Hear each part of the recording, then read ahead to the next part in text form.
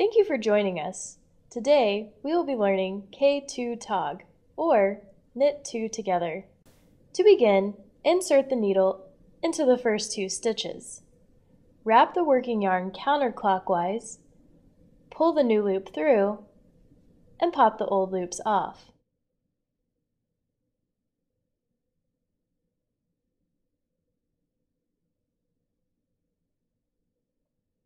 Insert the needle into two stitches, wrap the working yarn counterclockwise, pull the new loop through, and pop the old loops off.